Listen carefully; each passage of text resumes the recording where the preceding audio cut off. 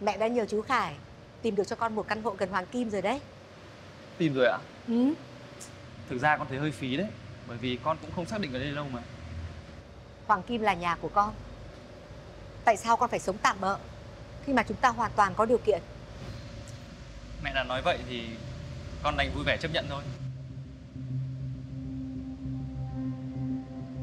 Sao được 9 điểm văn cả? Siêu ấy nhỉ? Con gái bố Ừ. Con để đấy cho bố mẹ xem ấy Rồi để bố xem nhá. Nhà em có 4 người, bố Đức, mẹ Khánh, con và em So. Bố em làm IT, thích đá bóng, thích chơi game, thích chân gà xả tắc và thích con khen là đẹp trai nhất nhà. Ủa, con viết quá chuẩn luôn sao ạ? Chuyện Mẹ Khánh thì đi làm về kế toán, mẹ thường đi xa, mẹ rất bận rộn và nói rất nhiều. Ủa, Sam ơi, con nói cái này quá chuẩn luôn. Bố mà là cô giáo, bố cho 10 điểm, không phải 9 nữa. Khi mẹ bận mà bố không giúp, mẹ sẽ quát và đánh bố.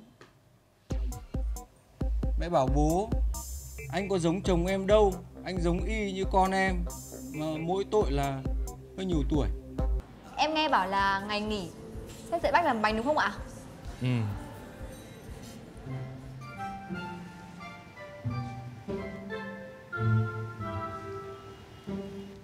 Nhưng mà để bám càng với nó thì không nhá. Kỳ thị em? Bởi vì rất phiền, ảnh hưởng đến công việc học tập tử tế của nó. Em không phiền. Em hứa là sẽ học hành tử tế mà. Tức là tôi đang đánh giá sai à? Tất nhiên rồi.